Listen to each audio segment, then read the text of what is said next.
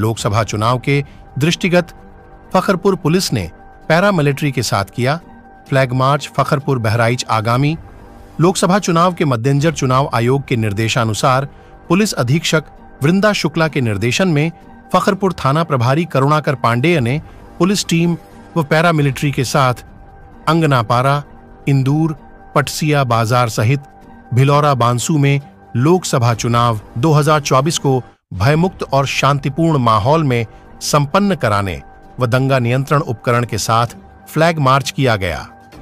Flag march के दौरान थाना प्रभारी करुणाकर पांडेय ने बताया कि लोकसभा चुनाव के मद्देनजर रोज फ्लैग मार्च निकालकर लोगों को भयमुक्त और सुरक्षा का एहसास कराया जा रहा है। लोगों को भयमुक्त होकर ज़्यादा से ज़्यादा मतदान करने की बात कही गई। साथ ही साथ चुनाव में गड़बड़ी पैदा करने वाले अराजक तत्वों को कड़ी कार्यवाही करने की चेतावनी भी दी गई। इस अवसर पर पैरामिलिट्री के साथ थाने की टीम मौजूद रही।